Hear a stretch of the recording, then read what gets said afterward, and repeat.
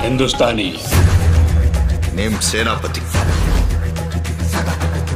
Freedom fighter audience critics से मिले खराब रिव्यूज़ के बाद भी बॉक्स ऑफ़िस पर लगातार धुआंधार कमाई कर रही कमल हसन की फ़िल्म इंडियन टू आज अपने तीसरे दिन भी सभी को हैरान करने वाली है और आज के दिन भी ये फ़िल्म काफ़ी शानदार कमाई करने वाली है।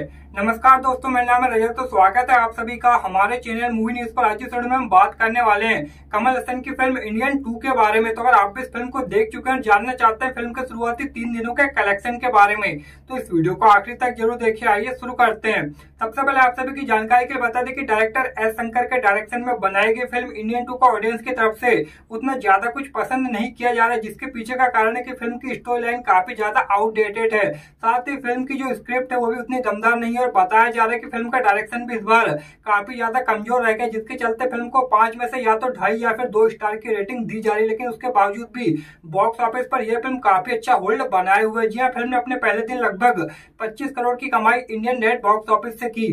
अगर बात करें फ़िल्म के दूसरे दिन के कलेक्शन के बारे में तो फ़िल्म ने अपने दूसरे दिन सैटरडे होने की वजह से लगभग 16 करोड़ की कमाई इंडियन नेट बॉक्स ऑफ़िस से कर ली। इसी के साथ फ़िल्म का कलेक्शन शुरुआती दो ही दिनों का लगभग 42 करोड़ का इंडियन नेट बॉक्स ऑफ़िस से हो गया था। अगर बात करें फ़िल्म के शुरुआती दो दिनों के वर्ल्ड वाइड ग्रोथ कलेक्शन के बारे में तो फ़िल्म का वर्ल्ड वाइड ग्रोथ कलेक्शन लगभग सत्तर करोड़ से भी ज़्यादा का हो गया था। अगर बात करें आज के कलेक्शन के बारे में तो आज संडे होने की वजह से फ़िल्म के कलेक्शन में एक बार फिर से काफ़ी अच्छा जंप देखा जा रहा है। जी हाँ, आज के दिन ये फ़िल्म एक बार फिर से लगभग बीस करोड़ की कमाई इंडियन नेट बॉक्स ऑफ़िस से करने वाली इसी के साथ फ़िल्म इंडियन टू का कलेक्शन शुरुआती तीन ही दिनों का इंडियन नेट बॉक्स ऑफ़िस पर लगभग बासठ करोड़ का हो जाएगा।